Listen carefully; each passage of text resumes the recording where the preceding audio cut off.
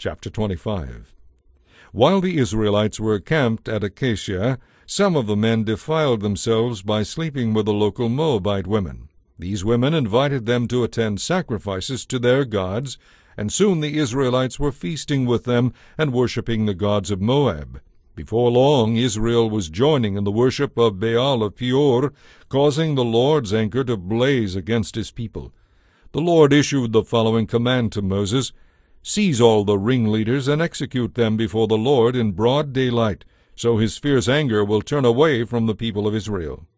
So Moses ordered Israel's judges to execute everyone who had joined in worshipping Baal of Peor. Just then one of the Israelite men brought a Midianite woman into the camp, right before the eyes of Moses and all the people, as they were weeping at the entrance of the tabernacle.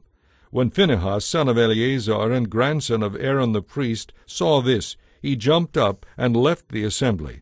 Then he took a spear and rushed after the man into his tent. Phinehas thrust the spear all the way through the man's body and into the woman's stomach. So the plague against the Israelites was stopped, but not before twenty-four thousand people had died.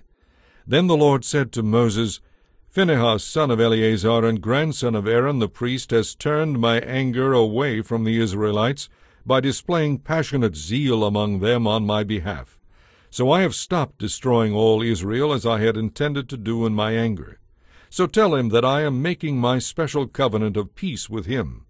In this covenant he and his descendants will be priests for all time, because he was zealous for his God and made atonement for the people of Israel. The Israelite man killed with the Midianite woman was named Zimri, son of Salu, the leader of a family from the tribe of Simeon. The woman's name was Cosbi. She was the daughter of Zur, the leader of a Midianite clan.